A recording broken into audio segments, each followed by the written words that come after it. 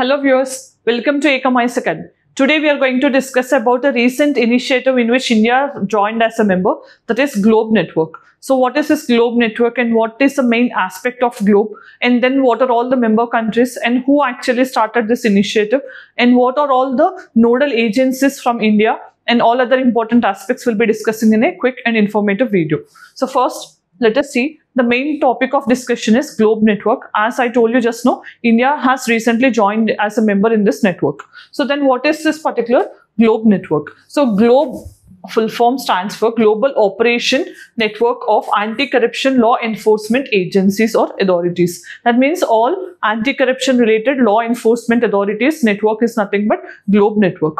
Then when was it actually launched means it was launched in the year 22 and this was initiative of G20. So G20 has launched this particular initiative called Globe Network and it was launched at UN General Assembly Summit on Anti-Corruption related summit. It was launched in 2022. Then how many are member countries in this initiative now? 121 are member countries. And what is the main objective? To ensure that there will be good cooperation and mechanism in fighting the corruption and there will also have some stringent anti-corruption related provisions. Then, then we also need to understand what are all the nodal agencies from Indian side in this particular initiative means. We have CBI and ED. So, you know, CBI is already interested with fighting corruption in India. Not only this, we also have ED.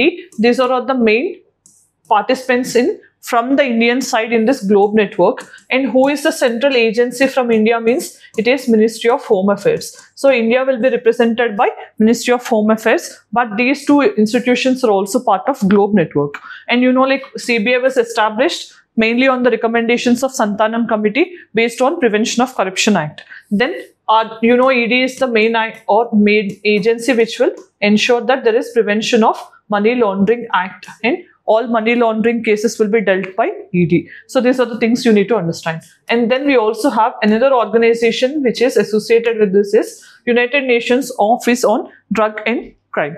So this organization was established in the year 1997, especially to fight illegal drug trafficking in organized crime. And then what is the main aspect you have to understand is this is headquartered in Vienna of Austria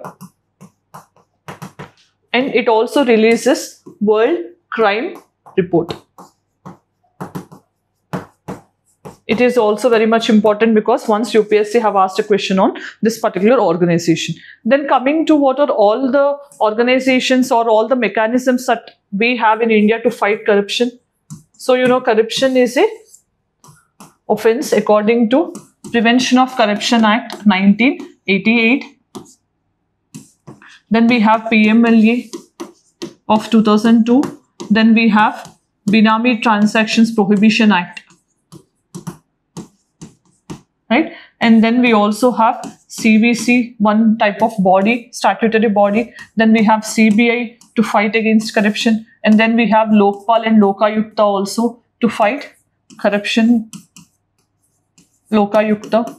And then we also have Whistleblowers Protection Act Whistleblowers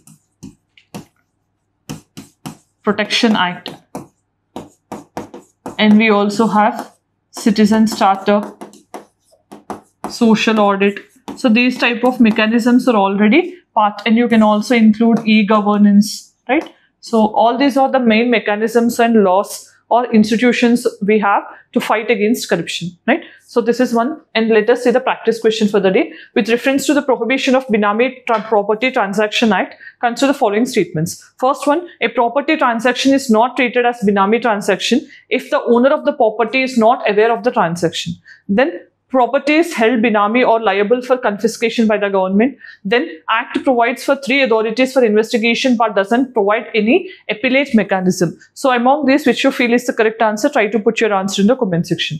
Then as we have reached end of the video, today we have discussed on the occasion that India has joined global network or globe network, which is mainly there to deal with corruption related aspects. And we also have seen what is the brief facts about globe network, who initiated this, how many are member countries to this. And we also have seen who is representing India along with UNDOC. UNODC means United Nations Office on Drug and Crime along with other aspects related to corruption in India.